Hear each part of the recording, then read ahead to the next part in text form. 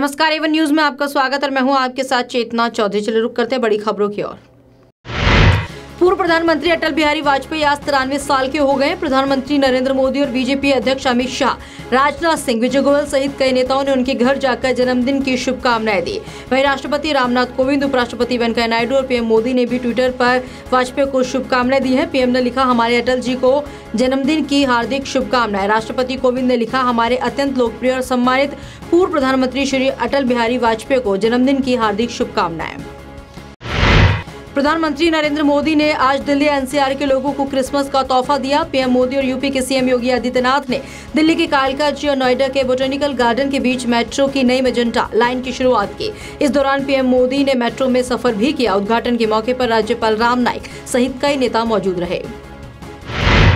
भाजपा नेता और पांचवी बार विधायक बने जयराम ठाकुर हिमाचल प्रदेश के चौदहवें मुख्यमंत्री होंगे जयराम ठाकुर को हिमाचल में भारतीय जनता पार्टी के विधायक दल का नेता चुना गया है भाजपा विधायकों की बैठक में निर्णय लिया गया उन्हें सत्ताईस दिसंबर को मुख्यमंत्री पद की शपथ दिलाई जा सकती है समाज सेवी और लोकपाल के समर्थक अन्ना हजारे ने चेतावनी देते हुए कहा है कि अगर सरकार ने बातें नहीं मानी तो आंदोलन में प्राण त्याग दूंगा अन्ना ने तेईस मार्च को दिल्ली में आयोजित आंदोलन में शामिल होने के लिए लोगों को आह्वान किया है और कहा है कि अगर जेल में जाने को तैयार हो तो दिल्ली में आंदोलन में आना है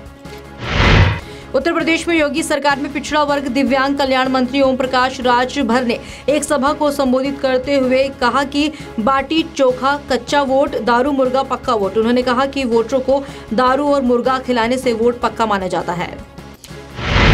तमिलनाडु में सत्तरूढ़ अन्ना द्रमुख ने आरोप लगाया है कि टीटीवी दिनाकरण और विपक्षी द्रमुख ने आर के नगर विधानसभा सीट पर उसे हराने के लिए मूक समझौता किया था अन्ना द्रमुख के संयोजक ओ पनीर सेल्वम और सह संयोजक के पलानी स्वामी ने संयुक्त रूप से कहा है कि स्टालिन और दिनाकरण की साजिश से हासिल इस जीत से अन्ना द्रमुख पर कोई प्रभाव नहीं पड़ेगा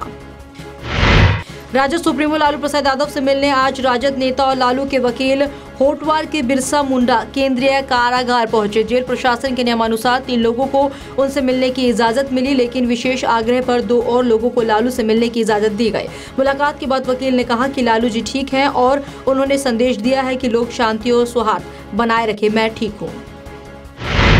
जासूसी के आरोप में पाकिस्तान की जेल में बंद पूर्व भारतीय नौसेना अधिकारी कुलभूषण जाधव की मां और पत्नी उनसे मिलने भारतीय उच्चायोग पहुंची और उन्हें जाधव से मिलने के लिए 30 मिनट का समय दिया गया इस यात्रा से पहले भारत ने पाकिस्तान के सामने तीन शर्तें रखी थी जिसे पाकिस्तान ने स्वीकार किया था और उसके बाद ही भारत ने इस यात्रा को हरी झंडी दी हमारे संवाददाता दीपू शर्मा के अनुसार भटिंडा के Arya model senior secondary school में बड़ी धूमधाम से एनुअल फंक्शन मनाया गया जिसमें मुख्य मेहमान के तौर पर सरदार मनप्रीत सिंह बादल पहुंचने वाले थे लेकिन सेहत खराब होने के कारण वे नहीं पहुंच सके उनकी जगह कांग्रेस के सीनियर नेता पवन मानी एनुअल फंक्शन में शामिल हुए उन्होंने स्कूल के सभी टीचर पेरेंट्स और स्कूल के सभी स्टूडेंट्स को बहुत बहुत बधाई दी और स्कूल को दो लाख रुपए का डोनेशन देने का वादा किया है इस मौके पर एसडीएम साक्षी सहानी भी मौजूद रही जब हम छोटे थे तो मैंने इनको मतलब यही यहाँ पर अपने बारे में बताया थोड़ा कुछ हम्म। कि जब हम छोटे थे तो हम लोग भी स्कूल जाते थे हमारे आ, हम हम लोगों का कैसा एक्सपीरियंस रहा स्कूल जाते समय कहीं ना कहीं हम लोग भी अपनी होप छोड़ जाते थे बट हम्म। फिर हमारे पेरेंट्स ने हमेशा हमारे पे कॉन्फिडेंस एंड ट्रस्ट बनाया रखा और आ, उसी के साथ उसी जो हमारे को पेरेंट्स से आशीर्वाद मिलता है टीचर से आशीर्वाद मिलता है जो हमें खुद में कॉन्फिडेंस होता है उसके साथ हम बहुत प्राप्तियाँ कर सकते हैं जी जो आज प्रोग्राम हुआ है यहाँ पर बच्चों में बहुत टैलेंट है उन्होंने अपने छोटे छोटे स्किट्स एंड परफॉर्मेंसेस से ये बताया कि हमको ऑल राउंडर या ऑल इट इज़ नॉट कि हमें सिर्फ पढ़ाई पे फोकस करना है बट स्पोर्ट्स भी हमारी ज़िंदगी के लिए इतने इम्पॉर्टेंट है हमको पढ़ाई स्पोर्ट्स डांस हर एक चीज़ में एक रुझान रखना चाहिए ये बच्चों ने बहुत सुंदर तरीके से मैसेज दिया है चाहती हूँ कि हमेशा अपने अंदर एक कॉन्फिडेंस बनाए रखें जो इनका रुझान है उसके हिसाब से जो इनका टैलेंट है जिस चीज़ में इनको दिलचस्पी है उसी चीज़ को वो परस्यू करें अज जड़ा एनुअल डे फंक्शन है आर्या मॉडल स्कूल अज सरदार मनप्रीत सिंह बादल ਫਾਈਨਾਂਸ मिनिस्टर ਪੰਜਾਬ ਉਹਨਾਂ ਨੇ ਇੱਥੇ ਆਣਾ ਸੀ ਕੁਝ ਕਾਰਨਾਂ ਕਰਕੇ ਕੁਝ ਸਿਹਤ ਦੀ ਖਰਾਬੀ ਹੋਣ ਕਰਕੇ ਉਹ ਨਹੀਂ ਆ ਸਕੇ ਉਹਨਾਂ ਨੇ ਅਚੇਚੇ ਤੌਰ ਤੇ ਇੱਥੇ ਜਿਹੜੇ ਮੈਡਮ ਲੱਗੇ ਨੇ ਸਾਖੀ ਸਾਨੀ ਉਹਨਾਂ ਨੂੰ ਭੇਜਿਆ ਔਰ ਇਸ ਸਕੂਲ ਦੀ ਬੱਚਿਆਂ ਦੀ ਹੌਸਲਾ ਵਜਾਈ ਵਾਸਤੇ ਉਹਨਾਂ ਨੇ ਆਪਦੇ ਵੱਲੋਂ 2 ਲੱਖ ਰੁਪਏ ਦੀ ਗ੍ਰਾਂਟ ਜਿਹੜੀ ਦਿੱਤੀ ਹੈ ਇਸ ਸਕੂਲ ਨੂੰ ਔਰ ਬੱਚਿਆਂ ਨੂੰ ਵਧਾਈ ਦਿੱਤੀ ਹੈ ਔਰ ਬੱਚਿਆਂ ਨੂੰ ਅਸ਼ੀਰਵਾਦ ਭੇਜਿਆ ਕਿ ਬੱਚੇ ਆਪਣੀ ਜ਼ਿੰਦਗੀ ਦੇ ਵਿੱਚ ਹੋਰ ਤਰੱਕੀ ਕਰਨ ਨਾਲ ਉਹਨਾਂ ਨੇ ਇਹ ਵੀ ਗੱਲ ਕਹੀ ਹੈ ਜਿਵੇਂ ਜਿਵੇਂ ਬੱਚਿਆਂ ਦੀ ਪੜ੍ਹਾਈ ਵਾਸਤੇ ਜਾਂ ਬੱਚਿਆਂ ਦੀ ਤਰੱਕੀ ਵਾਸਤੇ ਜਦੋਂ ਵੀ ਮੇਰੀ ਲੋੜ ਹੈ ਜਾਂ ਕਿਸੇ ਦੀ ਪੈਸੇ ਦੀ ਲੋੜ ਹੈ ਤਾਂ ਹਰ ਵੇਲੇ ਮੈਂ ਉਸ ਵਾਸਤੇ ਤਿਆਰ ਹਾਂ तो उन्होंने फिर दोबारा सारे बच्चों आशीर्वाद दिता है तो बधाई दी है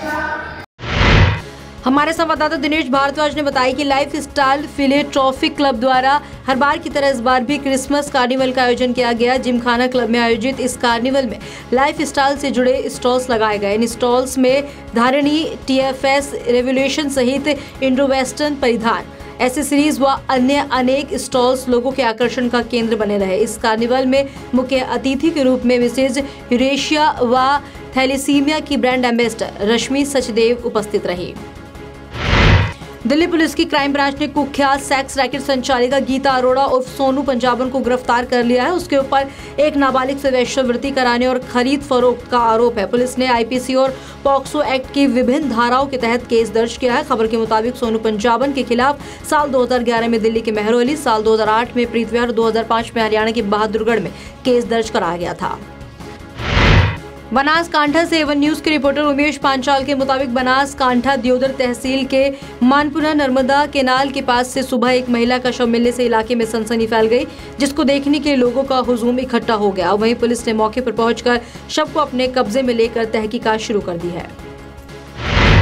प्रधानमंत्री नरेंद्र मोदी नए साल में स्विट्जरलैंड की शहर दावोस का दौरा कर सकते हैं संभावना है कि पीएम मोदी यहां वर्ल्ड इकोनॉमिक फोरम समिट में शिरकत करेंगे इस दौरान पीएम समिट के एक स्पेशल सेशन को संबोधित भी करेंगे ये समिट 22 जनवरी 2018 से शुरू होगा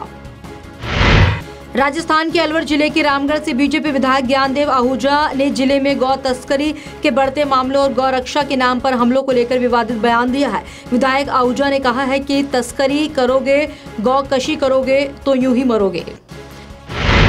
अक्षय कुमार की आने वाली फिल्म पैडमैन का दूसरा गाना रिलीज किया गया ये फिल्म का टाइटल ट्रैक है इस गाने के वीडियो में अक्षय सैनिटरी नैपकिन बनाते हुए और यूएन में मोटिवेशनल स्पीच देते हुए दिख रहे हैं इस गाने को मीका सिंह ने आवाज दी है